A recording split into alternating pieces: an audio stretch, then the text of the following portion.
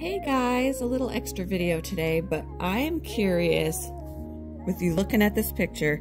Obviously, you know, you kind of get the gist of where I'm going. How do you feel about doing, you know, reading through the Bible in a year? How do you feel about me doing, you know, every day we will go to the next, you know, reference and read that until we get through the entire Bible in a year. In addition to the devotions, of course.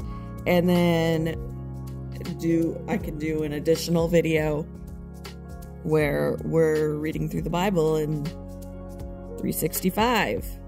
What do you guys think? Let me know down below in the comments if that is something that interests you.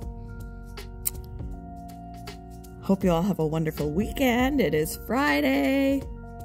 And I will talk with you guys later.